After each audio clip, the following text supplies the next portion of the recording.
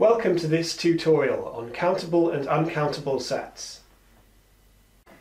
In mathematics, we often have sets of objects. These objects can be numbers, functions, matrices, or just about anything. And the objects in a set are called elements.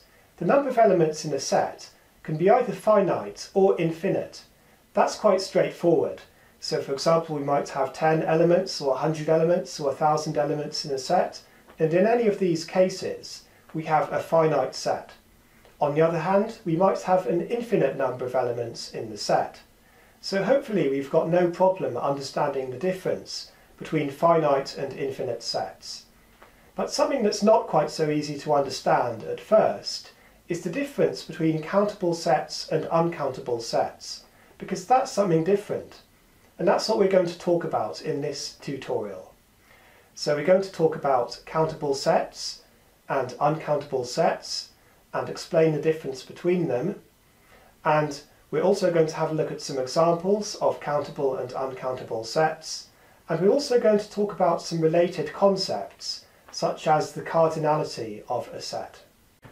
So to start off, let's think of a set of numbers. Suppose our set contains 1, 3, 5, 7 and 9, and this set is obviously finite, you can count the number of elements, and there are five elements. And we say that the cardinality of this set is 5. So I've just mentioned the word cardinality. What does this word mean? Well, it's very simple, or at least it's simple if we have a finite set. If we have a finite set, the cardinality is simply the number of elements in the set. So if we have five elements in the set, the cardinality is 5. A finite set is always countable and the cardinality is simply the number of elements in the set. So that's nice and easy. So now let's move on to talking about infinite sets. Suppose we have a set of numbers which contains all of the integers greater than 10. So here's our set, it contains 11, 12, 13 and so on. And this dot dot dot at the end here indicates that we have infinitely many elements, so our set goes on forever. So we know that this set is infinite, and we want to decide whether or not it's countable. So what does this word actually mean? We said that our finite set earlier was countable, but we didn't say exactly what that meant. So here's a definition. A set is said to be countable if its elements can be placed in one-to-one -one correspondence with the natural numbers, and we'll talk about what that means in a minute. And when a set is countable, we say that it has the same cardinality as the set of natural numbers. So when we refer to the natural numbers, we mean the counting numbers, 1, 2, 3 and so on. And the set of natural numbers is actually infinite, so it's not easy to explain what we mean by the cardinality of an infinite set. But we can talk about what it means for two infinite sets to have the same cardinality. And that's what we're going to do in the next few slides. So what does one-to-one -one correspondence mean? Well, suppose we have two sets of numbers, the set of odd natural numbers and the set of even natural numbers. And we can match up the elements of these sets one-to-one -one in a number of ways.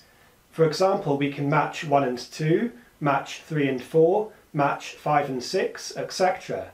And this shows that the two sets have a one-to-one -one correspondence because each element of the first set is linked to one element and only one element of the second set, and each element of the second set is linked to one element and only one element of the first set.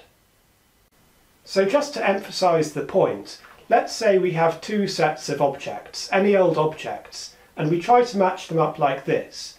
This is not a one-to-one -one correspondence for two reasons. First of all, this element here, circled in green, is linked to two elements from the top set, and this element here next to it isn't linked to any elements from the top set at all. So this is definitely not a one-to-one -one correspondence. So remember this set that we were talking about earlier, the set of all of the integers greater than 10. If we want to show that the set is countable, we need to show it has a one-to-one -one correspondence with the natural numbers. That's using our definition. So now, just to start using some more mathematical language, suppose n is a natural number, little n that is. So it's an element in this set. And let's define a function f of n by saying f of n equals n plus 10. Then obviously f of n is going to belong to this set, the set of all integers greater than 10.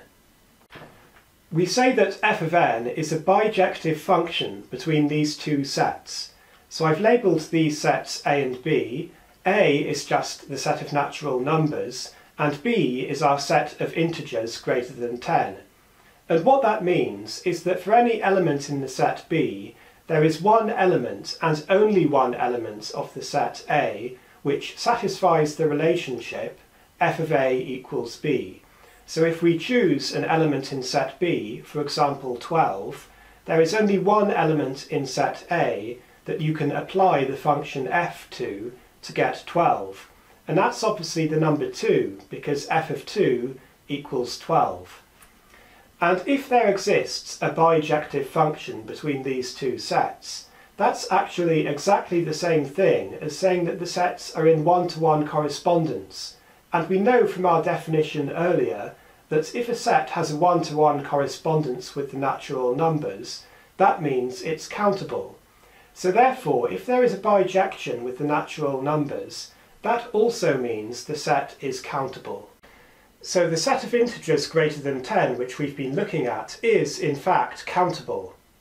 Now in maths, a lot of the time we have both formal definitions and informal definitions.